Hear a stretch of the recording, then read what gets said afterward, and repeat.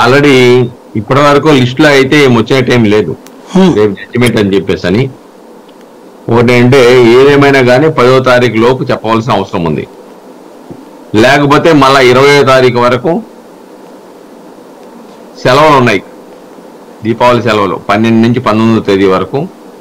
ఇంకా ఇరవయో తారీఖునే మళ్ళా సుప్రీంకోర్టు పునర్దర్శనం ఇస్తుంది ఆ రోజు మళ్ళీ శాంతి ఆయనది ఉన్నట్టుంది కదా ప్రశాంత్ భూషణ్ గారిది? అవునవును అవునవునండి అవునండి.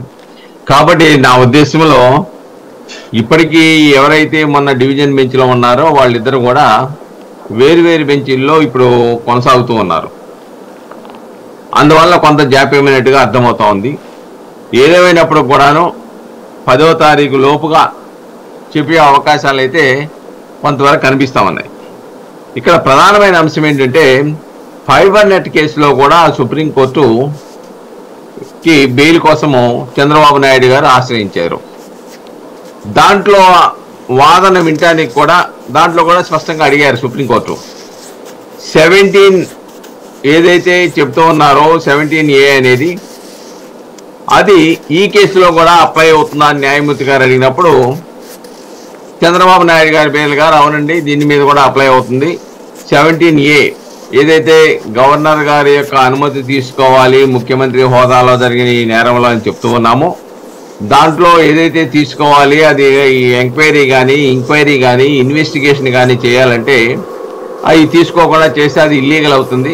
ఎప్పుడైతే అది ఇల్లీగల్ అవుతుందో ఆటోమేటిక్గా రిమాండ్ కూడా ఇల్లీగల్ అవుతుందని చెప్పేసి అని ఏదైతే వాదన చెప్పారో ఆ వాదన దీంట్లో కూడా అప్లై అవుద్దంటే అప్లై అవుద్దన్నారు.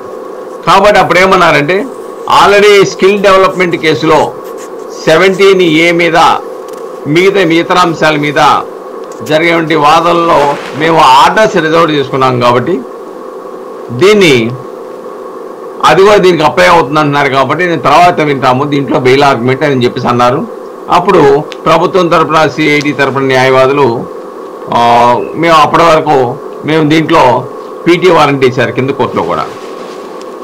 పీటీ వారెంట్ వేశారు. కాబట్టి దాంట్లో ఆ ఫర్దర్ స్టెప్స్ తీసుకోకుండా తాత్కాలికంగా నిలుపుదల చేస్తామని చెప్పారు. ఇది క్లుప్తంగా జరిగి ఉంటే ఆ సుప్రీంకోర్టులో జరిగి ఉంటే అంశాలు. దాని ప్రాతిపదిక మీదే ఇక్కడ ఆంధ్రప్రదేశ్ హైకోర్టులో ఉన్నటువంటి కొన్ని కేసులు ఉన్నాయి. ఇది ఇన్నర్ రింగ్ రోడ్ కేసు కానీ ఇలాంటి ఇతర కేసులు కానీ ఇతర ఇసుక మద్యం, ఇసుక మద్యం ఈ కేసులన్నీ ఉన్నాయి. వీటిలో కూడా ఇసుక మద్యం కేసులో ఒక దాంట్లోనే వేసినట్టున్నారు. రెండోది వాళ్ళు ఏమి ఇచ్చారమో నాకు తెలియదు